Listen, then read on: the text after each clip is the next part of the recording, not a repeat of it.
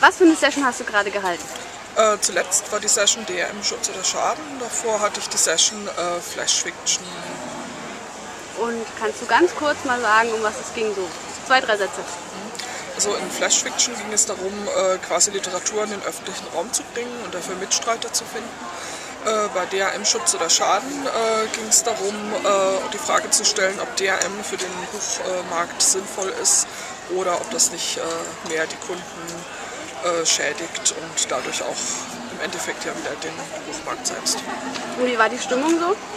Äh, in der ersten Session war es sehr ähm, entspannt, äh, sehr offen. Äh, die Leute sind mitgegangen und haben äh, auch eigene Ideen eingebracht. In der zweiten Session äh, war sie dann schon eher skeptisch zum Diskutieren an.